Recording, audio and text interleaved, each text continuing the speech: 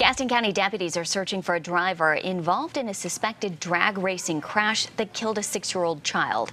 It happened Saturday night on Kings Mountain Highway near Sparrow Springs Road.